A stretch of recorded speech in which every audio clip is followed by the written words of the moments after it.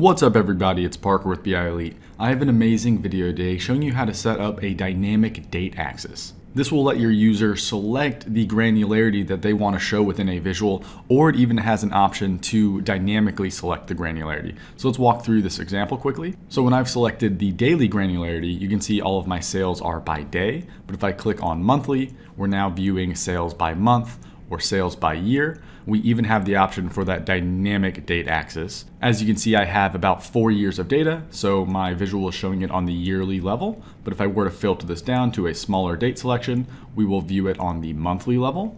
And if we filter down to an even smaller selection, we'll view that data on a daily level. So it's entirely dynamic based on the user selection. A lot of times you might be building a report and you don't actually have that many days worth of data, but the amount of data will grow over time. So if you build a report that's showing the data on a daily level, over time, maybe a few months down the line, you're gonna have a lot of individual bars in a bar chart, for example, and you wanna show it on a monthly level. Instead of changing the design of the report to satisfy monthly or yearly granularity, you can set it up in this dynamic fashion. And this is kind of an alternative to drill down because you are able to put a year, month, day hierarchy in a visual as well, but I do find that users find that drill down is a little bit confusing to figure out. So I'd like to take that out of their hands if possible and give them the option to select the granularity or leave it completely dynamic based on their selection.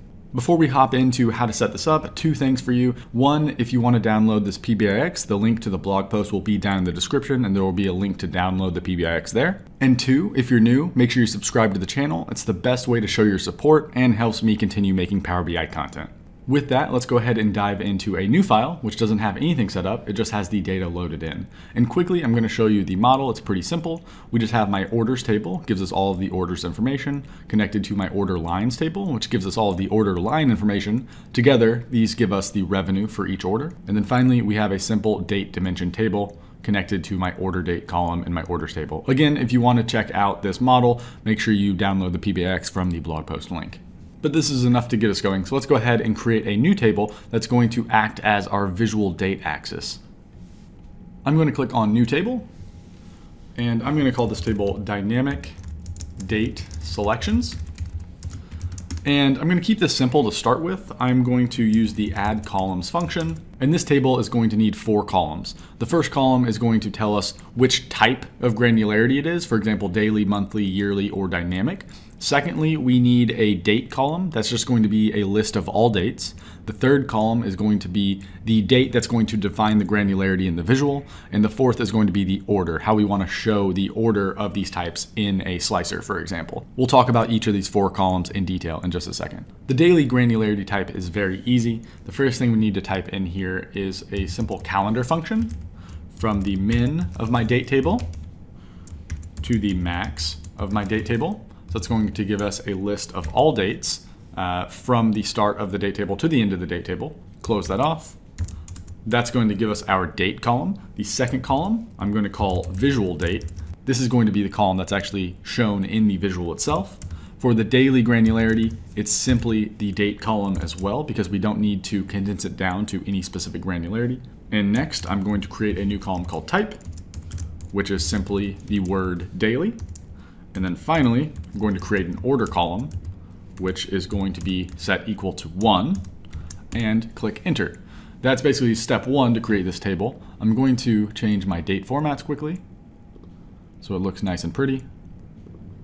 Okay, so I have my dates, my visual date, daily, and one. Uh, there's no difference between date and visual date as of right now, but it will be in the other selections. So let's go ahead and create our monthly selection as well. In order to add multiple tables together, we have to use the handy union function. So I'm going to union this table that we just created with a very similar table for the second selection. So let's copy that, paste it below, and instead of daily, this is going to be monthly. Uh, it's going to be second in order, the only difference between my date columns is going to be in the visual date. I need to confine the granularity down to the monthly level. We can quickly do that by passing in the date uh, function. I'm going to take the year of my date column, the month of my date column, and return one for the day. That's going to ensure that, for example, let's let's look at an example here. January 5th, 2013. It's going to take the year 2013, the month January, but always return a one. So every day in January is going to be the first of January 2013. So that's exactly what we need. Let's go ahead and uh, close everything off here and see what our monthly type looks like. I'm going to filter down to monthly and let's sort by date. So as you can see, just like I was saying, every day in January is January 1st. Every day in February is February 1st. We can start to visualize to make sure we understand this fully.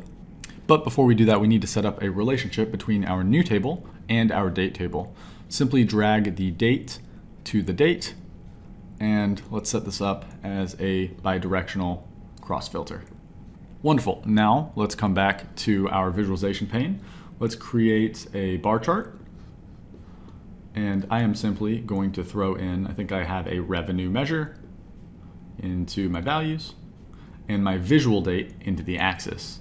You can see it looks a little bit weird as of right now. That's because we need to filter down to a single type from our table. So let's create a slicer. So I'm gonna go ahead and quickly make this a single select because we only wanna have one selected at a time. You can see that already fixes the issue. So either the daily granularity or the monthly granularity. They already have the choice between daily and granularity, and that's actually pretty cool. Let's quickly add the yearly granularity. We can just do that quickly by copying this code and pasting below, calling it yearly, giving an order of three. And the only difference here is instead of month date, I can replace that with a one. So every year, let's actually filter down to yearly to see what we have. So every day in 2013 is looking like January 1st, 2013. And as we hit 2014, every day is looking like January 1st, 2014. So it's confining all those dates down to a single uh, date within that year. So now as we have yearly, we can see that all of that data is confined down to the yearly granularity. So that gets you really far. Maybe that's as far as you want to go, just giving your user the ability to select the granularity. But I also like that little dynamic piece that's going to allow them to select a date range and the granularity is going to filter down dynamically. So let's go ahead and add a fourth option here. I'm actually going to copy it from daily because it's going to be very similar to daily. So I'm going to call this dynamic, change the order to 4, and that's exactly all we need there. So if we go back to our visualization pane, dynamic isn't actually going to do anything yet. It's just going to show the daily granularity. And before I forget, I need to highlight my type column, sort by order, just so in our visual it sorts as I want, daily, monthly, yearly, and dynamic is the last thing. So I'm gonna go ahead and throw in a another date slicer here using our date column from our dynamic date selection. So we can see that we have this nice date slicer. It does filter down this visual, but I want to do it in, in, a dynamic way like I showed you in the example to start with. There are a couple steps in order to complete this method. Uh, instead, I'm actually going to create a second table, a kind of copy of the slicer selections. I'm going to do that by creating a new table here, table tools, new table. I'm going to call this slicer selections and I'm going to set that equal to values of my type column. So it's going to give us the distinct values of that type column. And actually, I'm going to add that order column back in. So add columns, start with my values. I'm going to call this order. And I'm simply going to look up the value of that order based on type, searching via type. Don't need to worry too much about that logic. I just want to get that order column back so that I can sort by that order as well. So now back in our visualizations, uh, I'm actually going to change this slicer to pull from the new type we just created. Instead of our dynamic date, uh, I'm going to look at our slicer selections type. So as we switch that, we'll see that our uh, slicer selection no longer affects the visual, and that's totally fine. We need to filter down this visual based on a measure filter instead of via the slicer. So we can do that by creating a new measure. And I'm going to paste in the code here. I have it called date filter. And let me go ahead and reconfigure this a little bit based on our table names, dynamic date selections.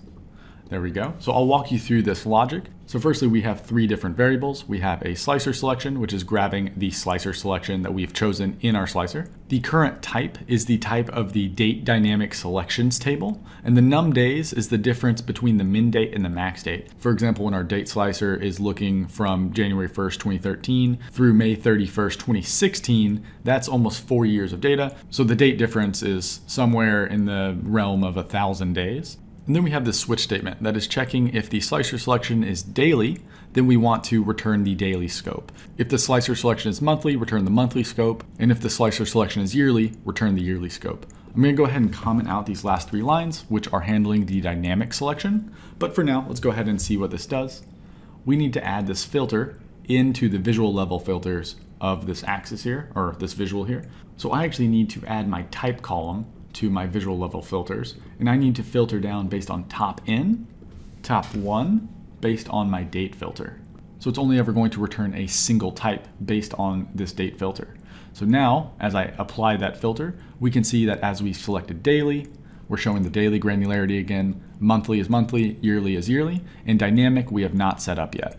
Going back to our measure, if we uncomment these lines of code, it will now work, but I will walk you through what this means. So if we've selected dynamic in our slicer and the difference between the min date and the max date is less than or equal to 90 days, we want to show the daily granularity if it's dynamic and the number of days between min and max is somewhere between 90 and 730 or 729, we want to show monthly. And keep in mind that these numbers of days is completely arbitrary based on what I put in there. You can change the value to be whatever you want. And then I put it to where if the number of days between the min and max is greater than or equal to 730, I show the yearly granularity. So with that, that is the entire trick. Let's see how that works. When we're on dynamic, if we filter down to a smaller date range, we show that monthly granularity. Even smaller, less than three months worth of data, I'm showing that daily granularity. And then finally, all the way out, we're showing that yearly granularity. So that's the entire trick. I think this is really cool, especially if your data is continuing to grow and you don't want to have to redefine how your visuals are set up. This trick is actually pretty easy to get you like 80% of the way. It's just adding that dynamic option adds a few extra steps, but if you've made it this far, you'll reap the benefits of having that really cool dynamic date axis. If you like this video, make sure you subscribe to the channel. Make sure you check out my training over at training.bielite.com. We have some great courses on Power BI, DAX, Alteryx, SQL. The link is down in the description, and I'll see you in the next video.